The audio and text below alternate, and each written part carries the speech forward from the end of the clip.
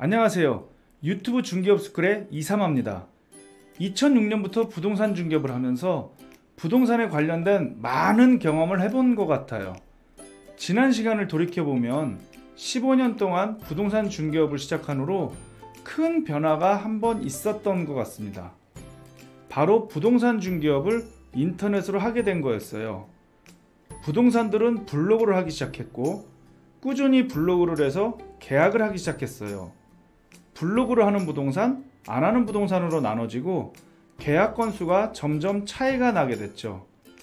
시간이 지나서 블로그를 안 하는 부동산들은 블로그를 하는 부동산들이 계약을 더 많이 하는 걸 보고는 뒤늦게 블로그를 해보려 했어요. 하지만 블로그를 먼저 시작한 부동산을 따라잡기는 굉장히 힘들었어요. 세월이 흘러서 부동산 중개업에 새로운 변화가 또 오게 됩니다. 글과 이미지로 매물 정보를 올렸던 블로그에서 영상으로 매물 정보를 알려주는 유튜브로 넘어가게 되죠.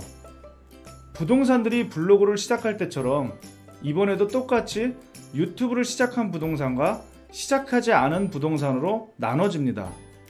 시간이 지나면 유튜브를 하지 않는 부동산들은 늦었다고 느끼고 이제라도 유튜브를 시작하려고 할 것입니다.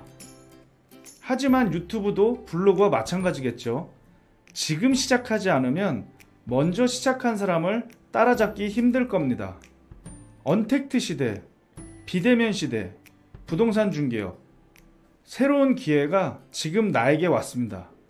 블로그 때는 모르고 지나쳤지만 지금 만난 기회는 절대 놓치지 마세요. 처음에 실력이 조금 모자르면 어떻습니까? 매물이 좋고 신뢰만 있다면 조회수가 적어도 계약은 이루어지거든요. 부동산 중개업을 하면서 하루에 100명의 고객에게 매물을 소개한 적이 있나요? 일주일 만에 1000명에게 매물을 보여준 적이 있나요? 매물을 많이 보여줘야 계약 확률도 높은 건 당연하겠죠. 유튜브 중개업을 하면서 많은 시도와 경험을 했습니다. 운이 좋아서인지 첫 계약도 빠르게 나왔고 그 뒤로도 주변 부동산의 요청으로 그동안의 노하우를 알려드리다 보니 강의도 하게 되었습니다. 부족하게 시작한 강의지만 고마워하는 수강생들을 보면서 너무나 감사했어요. 강의를 하다 보니까 멀리서 강의 문의가 오기 시작했어요. 배우고 싶어도 거리가 멀어서 힘들다는 문의에 온라인으로 노하우를 전해드리기로 마음을 먹게 되었습니다.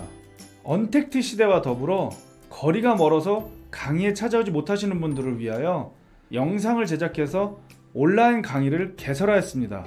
유튜브 중개업을 하기 위해서 꼭 필요한 부분만 오프라인 강의에서 끄집어 모아서 온라인으로 만들었습니다.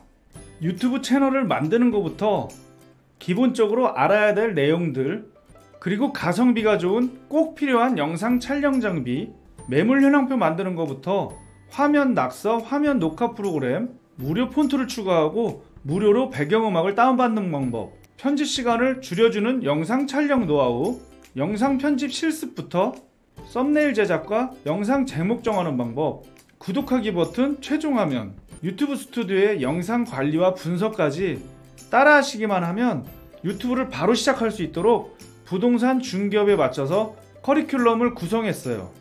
처음에 강의를 수강하시는 분들은 분명히 남들보다 열정이 있고 경쟁력을 갖추실 분일 겁니다. 부동산 중개업에 맞춘 유튜브 강의, 유튜브 중개업 스쿨과 함께 부동산 중개업하고 돈 많이 버시기 바랍니다. 감사합니다. 이삼하였습니다.